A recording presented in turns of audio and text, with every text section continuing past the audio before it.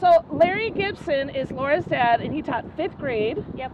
Um, and then also some other grades. He at one point he taught science for fourth and or fifth and sixth grade. Okay. Crazy, but he his main classroom was fifth grade. Yes. And so he used to go and shoot off model rockets with his classes. And so what we wanted to do, Laura said, "Hey, we should do this again." And I thought that was great because I know I had, had played around with some model rockets in the past. But also, too, we wanted to think what's going to be a great inspiring way to get kids excited about science, technology, engineering, and math, you know, STEM.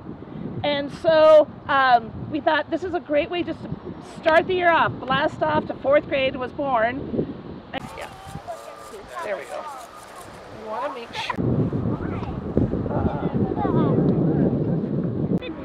By the way, this is not loud at all, so don't worry. Now don't push the button. Let us count down, push it. Easton. You gotta push it and hold it down while they count down. You ready? What you're doing, here. Push, push that. Why? Just push the red button. You ready? Yeah, can I just do it? Yep. Here we go. Whoa! Or is it? Way back there. I can't. Yeah, it's gone.